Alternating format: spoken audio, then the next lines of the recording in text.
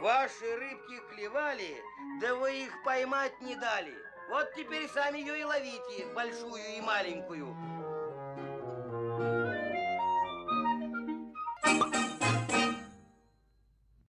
Приветствую зрителей моего канала, приветствую тех, кто подписался недавно, приветствую тех, кто заходит регулярно, приветствую тех, кто зашел просто так. Те, кто зашел просто так, проходим дальше. А если вам все-таки интересно, то на канале около 700 видео различных тематик и не только о мармышинге. А, тому же ретрофишингу посвящена отдельная папка, отдельный плейлист. Те, кто зашел осознанно, а, сегодня, напоминаю, новый а, юбилейный ретро-ролик – новые 100 человек подписались, более 1300 человек на канале. Сегодня будем говорить о катушках, и опять так уж совпало, что о катушках от фирмы Абу Гарсия. Те, кто на канале давно в курсе, что это любимая фирма до, до их покупки Pure Fishing, э, еще одна неплохая фирма, которая мне нравится со своей продукцией, это Mitchell, тоже старый. Э, недавно купил вот такую книжку, называется «Под знаком рыба», и, рыбы, э, и автор ее А. Гусаков. Не знаю вообще ничего о нем, к сожалению. Э, знаю только то, что в моем советском еще детстве в различных журналах «Рыболовство и рыболовство», «Рыболов», в альманахах «Рыболов-спортсмен» попадались очень интересные статьи. И многие из этих статей оказались под авторством этого человека. Э, при отсутствии какого-либо интернета на тот момент, э, при отсутствии э, какого-либо интернета на тот момент, человек показал отличную осведомленность о современных тенденциях и каких-то на новостях рыболовного мира. Поэтому мы знали и о современных лесках, и о современных катушках, и о современных спиннингах, хотя купить и попробовать их в то время мы не могли. Могли кое-что советское купить, и то далеко не все. А, я купил эту книжку, потому что она сборник всех тех статей, как оказалось, плюс еще там пару, которых я не видел до того. Возможно, они для этой книжки э, написаны. Э, совершенно разные есть э, тематики. Есть, видите, про приманки, есть про историю появления удочки, ну тут как раз про спиннинги, про материалы, какие используются от дерева до углепластика, про различные приманки самодельные в том числе, и про современные инерционные, безинерционные катушки а, в том числе. И в этих же статьях, ну вот, вот эта статья дополненная, а, оригинал ее был в альманахе «Рыболов спортсмен» 40-м, там очень подробно рассказывалось про катушки как раз фирмы Мичел, фирмы Абу и немножко про японские и, и же с ними. Э, спасибо автору, на, на, на всю жизнь мне голову сломало, мне захотелось э, что-то от Абу Гарсия в конце концов прикупить. Ну, в конце концов прикупил, например, хвостатый кардинал, Абу Гарсия кардинал 3, э, не шведского, но японского производства. На тот момент Япония была вполне себе Китаем, и туда переносили дорогое шведское производство в надежде сэкономить. Доэкономились до того, что выяснилось, что качественные катушки делать смысла нет никакого, и мы сейчас вот сидим на, на чем-то некачественном. Сейчас, значит, нифига не у, а вы бы видели, что там внутри, а сходите, посмотрите ролик предыдущий. Так, по сравнению со старыми кардиналами хвостатыми, классическими, которые как раз мне и нравились, изменилось. Э, появились юбочные шпули графитовые, э, СИГ на ролике лескоукладыватель вместо стали – возможность переустановки рукоятки с одной стороны на другую, и плюс э, слегка изменилась э, механика катушки, э, червячная передача была сохранена, и качество ее не сильно ухудшилось, так что эти катушки можно считать вполне преемниками, пусть и несколько более э, простыми, чем старые катушки от Абу Гарсии, даже от Абу. Э, так, э, это промаркировано кардинал 3, были кардинал 3, 4, 6, 7, ну там, по-моему, все, крупнее, наверное, не было. А, и э, до этого были, например, старые, тоже теми же, теми же цифрами маркировались, и были еще 33, 30, 33, 44, 66, 77. И для э, американского рынка опять пошли те же 3, 4 и ну, 6, 7. Так, что за коробки? Что за Абу Гарсия, что за Абу Гарсия кардинал? Если вам вопрос задали бы, э, что такое зеленый с хвостом, вы бы сказали крокодил. А я бы сказал Абу Гарсия, Абу Гарсия кардинал 3 или 33. Абу Гарсия кардинал 3.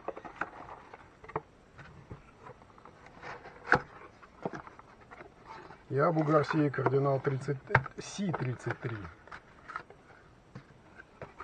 Так, еще тут еще бумажки надо достать.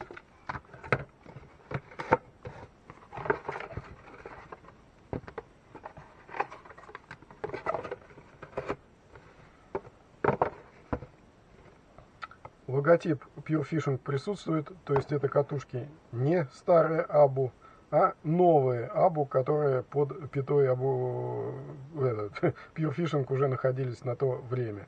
То время это конец 2004 и до, по-моему, конца 2005. Катушки выпускались всего год и являются коллекционной редкостью на данный момент. Потому что выпущено, по легенде, их 1800 штук всего. Две из них вы видите на моем столе. Довольно интересные катушки. Э, интересные чем? Интересны они э, тем, что Абу Гарсия попыталась, ну, наверное, э, по приказу, по просьбе, по настоянию Fishing продать еще раз все то же самое и оседлать любимого конька. Я надеюсь, там хоть что-то видно. А, вот это вот, например, Абу Гарсия 33, э, старая как раз, где-то вот 60-х, 70-х годов. Э, Темно-зеленый корпус, кремового цвета ротор и белого изначально э, цвета крутилки. Потом цвет получился кремовый не менялся и казался белым, а вот эти наоборот желтели. Вот это вот как раз классика, вот это измененное в Японии, чуть удешевленное. Э, Абу Гарсия решила пойти на, на поводу. У нее выбора не было на самом деле. Что сказала э, Pure Fishing, то и делаем. Переносим производство в Китай в надежде на то, что получится дешевле производство. И пытаемся продать сразу всем одни и те же кардиналы. Кому всем? Э, любителям э, старых кардиналов, сохраняем те же самые цвета, э, делаем тот же самый хвост, делаем современные навороты, получаем новую катушку. Ну, вполне неплохой подход.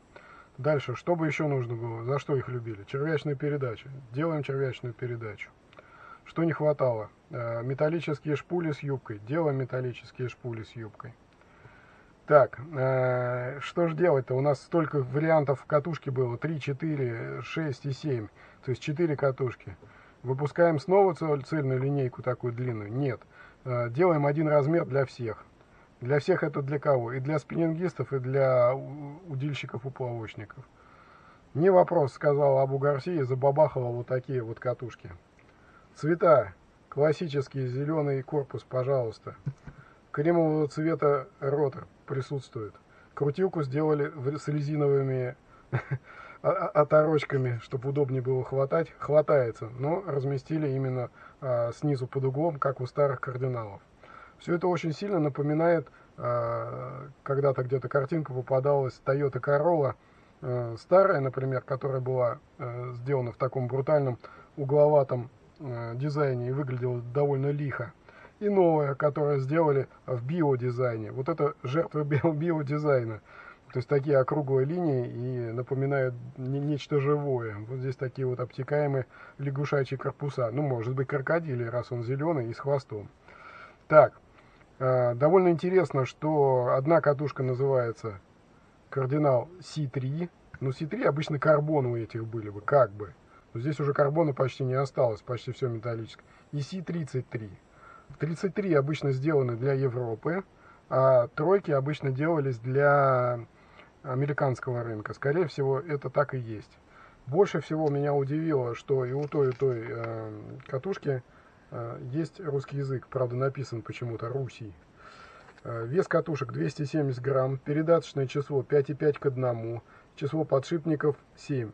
И по традиции, как э, у большинства катушек Абу Гарсия, сейчас, ну и тогда, а, ролик вращается на двух втулках узеньких. Не хотят они туда подшипник ставить. С одной стороны правильно, потому что обслуживание меньше требуется. То есть э, попадает, попадет э, вода во втулку, ничего практически не изменится. А вот э, попадет вода в подшипник, скорее всего, завяжет довольно быстро. Так, взяли и сделали один размер для всех. Если до этого три, третьего размера катушка, это была ультралайтовая катушка, и она действительно в металлическом корпусе я вам взвешивал чуть больше 200 грамм. Эти весят 270. Они не ультралайтовые, но они вполне лайтовые. То есть, скорее всего, размер по диаметру шпули, сейчас посмотрим.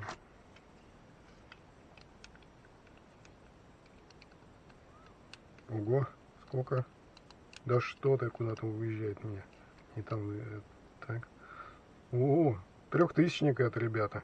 44 а, миллиметра. 270 грамм для трехтысячника, неплохой вес. Корпус полностью металлический. Э, ротор пластиковый. Рукоятка полностью металлическая, ну, естественно, кроме кноба и винта с э, крутилкой. Так, а ручки очень лихо выглядят, такие вполне себе в футуристичном дизайне сделаны, слегка напоминают старые, фрезерованные рукоятки, получается, они литые, ну, по крайней мере, выглядят фрезерованными. Не стали делать, как вот обычно, не стали складывающиеся делать э, кнопкой, как было модно, но как опция, я гляжу здесь вот на листе с детализацией, рукоятка предлагается со, и, и со складывающимся Э, вариантом. Здесь же просто, вот видите, вы э, ослабили винт и, соответственно, ее можете немного сложить. Так, э, чтобы разместить эм, фрикционный корпус в корпусе не сзади, а под углом, пришлось исхитриться, вот такую вот конструкцию сделать. И посмотрите, вот это все, раз, два, три, четыре, пять, шесть, семь, восемь, девять, десять, одиннадцать, двенадцать, тринадцать, четырнадцать деталей. Это все фрикцион потому что диаметр фрикционных дисков небольшой, и чтобы усилие необходимое для трехтысячника, я, правда, не знаю, сколько здесь, где-то можно и найти. Я вам там а, скину статью венгерского автора, и, пожалуй, это единственный обзор, который я нашел. Э, там, там это все рассказывается. Э, чтобы необходимые усилия получить, сделали вот такой э, довольно сложный фрикцион. Та самая червячная передача, вот она присутствует. То есть механизм э, вроде бы э, в основном привычный нам. Вот она, ведомые ведущие шестерни, вот они присутствуют. Э, но каретка, которая там внутри ездит, она ездит по э, двум направляющим и по э, червячному этому валу. Соответственно, обеспечивается э, максимальная стабильность механизма и довольно хорошая, ну или очень хорошая. Вот посмотрите. И вот плетенка. Очень хорошая укладка лески, причем э, намотаны, как видите, в край, и там, и там. Одна катушка мне досталась с Австрии, из Австрии привезена, а другая из э, Германии. Почему-то вот э, какой ну там перед Новым годом, может, они решили там подзаработать, выбросили на eBay несколько э, штук таких, ну, разные, вот две удалось купить. Так, а, изменилась, изменилась пружина, э, стала нажимной, то есть э, теперь не надо бояться, что сломается пружина. Раньше она была витая у старых, аж две, а, и э, чуть более простая у этих моделей, но тоже работающего на излом. Две шпули теперь в комплекте. Ну, тут тоже было две, но тут были обе пластиковые, у старых были, по-моему, тоже пластиковые, да. И кастомные бывают металлические. Э, здесь же есть э, алюминиевые полностью и, соответственно, карбоновые э, со вставками под цвет корпуса катушки дополнительные шпули. Очень интересные зажимы для лески. Если мы откроем инструкцию, даже русскую, 36 по-моему, страница, стоять. Так, во-первых, давайте просто посмотрим что тут? Ну, тут всего-то 4, 4 странички. Поздравляю вас с покупкой новой безинерционной катушки Абу Гарсия. Ваша катушка была создана, чтобы долгие годы дарить вам радость рыбалки. Для этого корпуса металлические, для этого э, червячная передача. Так, Falcrum э, тормоз, вот этот, который называется, очень удобный для приловли, э, например, на тот же джиг или на течении, возможно. То есть, когда у вас э, под наклоном стоит удилище, ну, на вываживании, естественно, вам очень удобно регулировать фрикцион, потому что не надо его искать э, ни, ни ровно сзади, ни, ни спереди, тем более с леской путать. Здесь вот, пожалуйста, вот оно. э, здесь циферками там помечены какие эти... Э, ой, вру. Нет, не вру. Больше-меньше вру. Это на старых было циферками, вот. Кто их там смотрел. Поэтому больше-меньше и достаточно. Так, а, по поводу тех самых клипс. Помните, я вам говорил, давайте всех сразу осчастливим. Вот видите, как они сделаны? Для чего они сделаны? Поплавок нарисован. Если вы такую э, катушку используете на матчевом удилище, а это вполне э, доступно, то можно цеплять леску за эту, за одну из, за, одну, за, за один из рогов этого самого э, защепа для лески и э, контролировать дальность заброса. А при поклевке оно само снимется. Каждый раз что-то новое норовили придумывать э, шведы, несмотря на то, что переносили производство катушек все дальше и дальше от Швеции. Сначала в Японию старались сэкономить, потом, видите, уже и в Китай. Но, тем не менее, на качестве э, катушек это практически никак не сказалось. Получилось, получились современные на тот момент, на 2004-2005 год, катушки, которые оснащены всеми э, необходимыми функциями для катушки какого высокого класса. Так, ну тут еще куда капать масло, куда не надо, и как наматывать э, леску, и, пожалуй, все. Ну, минимум, ладно, есть. Так, какими же функциями катушка обладала? А, большой диаметр шпули с легкой возможностью ее замены, потому что нам не мешает тормоз. Э, то есть хотите поменяли с моно, поставили плетенку и наоборот. Дальше. Большой ролик лесоукладыватель с большим диаметром ролик лесоукладывателя, который позволяет работать как раз с плетенкой. Дальше. Очень удобный и тонко настраиваемый фрикцион. Так, э, сравнительно небольшой вес при наличии э, металлического корпуса, ну и современный внешний вид, что немаловажно. Червячная передача, которая обеспечивает долговечность, стабильность работы и очень аккуратную намотку лески. Так, дальше. Давайте попробуем расковырять одну. Давайте эту, что ли, попробуем.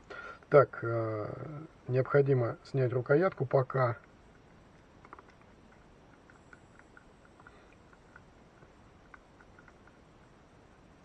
Да господи, какой же длинный винт там. Ну, зато нет люфта.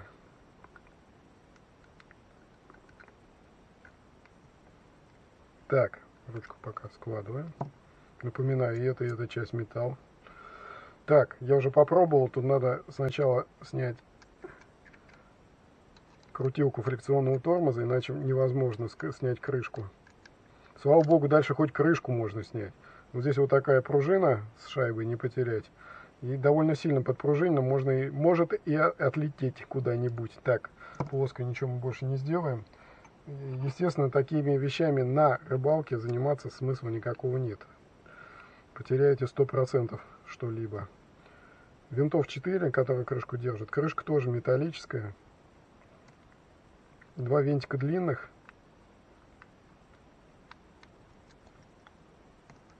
Два винтика коротких. Там довольно плотная компоновка, поэтому придется отверткой показывать, где что расположено. Эй, блин, придется подцепить. Так, а, вот конструкция фрикциона, вот пакет а, фрикционных дисков. Вот направляющая раз, это вот основной вал. Шестерни привычные нам раз, два. И вот червячный вал сам находится, по которой каретка ходит. Довольно интересная и очень такая продуманная конструкция. Так, стоять. Блин. Неудобно, потому что в открытом состоянии. Я не знаю, там видно вам или не видно.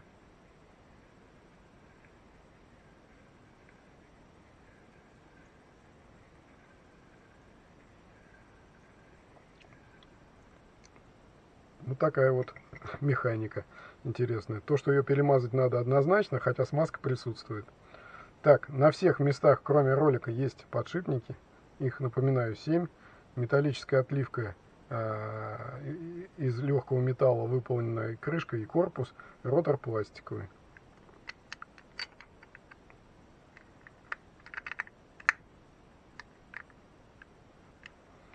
Теперь попробуем, называется, совсем этим взлететь. Шайбу надо руками положить, а то я уже так не закрою, они сдвигаются. Так, видно, что регулировали ход.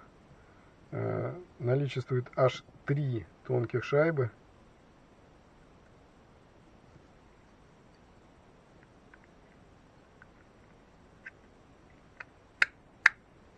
Все. С щелчком приятно все встало на место. Напоминаю, что передаточное число 5,5 к 1 э, одним размером, одной скоростью, э, одной конструкцией решили охватить сразу всех. То есть можно ловить, например, ту же форель э, апстримом, то есть забрасывая вверх по течению. То есть скорости катушки достаточно. То есть не, не 5,2, но и не 6,2. То есть 5,5 где-то вот золотая середина. Дальше. А, обычных а, рыбаков а, на пресноводных водоемах с тем же джигом очень хорошо охватили, поэтому оно достаточно популярно было и в Европе. Ну и классический, конечно, блесны, пожалуйста, никто вам, ну и воблеры, то никаких проблем с использованием нет. Дальше. Видите, а, по инструкции явно видно, что и поплавочников решили охватить тем же, потому что а, старые кардиналы использовались не только спиннингистами, но и вовсю поплавочниками раз, а крупные размеры использовались для ловли того же карпа или даже сама. Потому что мощные конструкции с а, червячной передачей очень хорошо себя зарекомендовали при ловле крупной рыбы. К сожалению, размер оставили один – решили, видимо, прозондировать почву. Будет ли э, интерес э, к тем самым хвостатым кардиналам? Ну, выяснилось, во-первых, что те самые хвостатые кардиналы ни капельки не потеряли популярности, а вот новые хвостатые кардиналы э, такой, такой большой популярности, к сожалению, не снискали. Зато они стали коллекционной редкостью, и сейчас их найти в продаже не так уж и легко. И те, кто покупает э, или коллекционирует э, катушки кардинал, считают, что такие катушки в коллекции иметь необходимо, потому что вещь редкая, выпускалась всего год. Попытка фактически последняя Абу Гарси оседлать любимого конька и возродить хвостатые кардиналы и свою легенду, к сожалению, не совсем удачно вышло у них – видимо, на мой взгляд, самый, небо, самый большой недостаток, ну, кроме про э, перенесения производства в Китай и, соответственно, изменение э, катушек, изменение конструкции катушек, с одной стороны, они их осовременили, а с другой стороны, они их несколько упростили, получилось. И один размер, к сожалению, мне бы такая катушка подошла бы именно в ультралайтовом размере. А покрупнее это очень хорошая катушка для ловли форели, головля, ловли на джиг, на тот же поплавочный или доночный удилище универсал.